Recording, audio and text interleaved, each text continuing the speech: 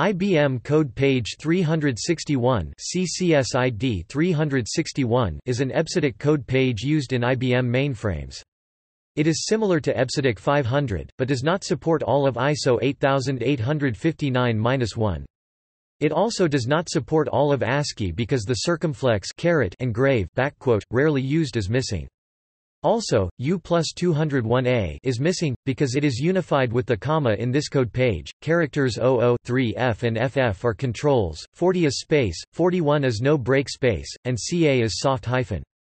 Characters are shown with their equivalent Unicode codes. Non-invariant characters are shown boxed.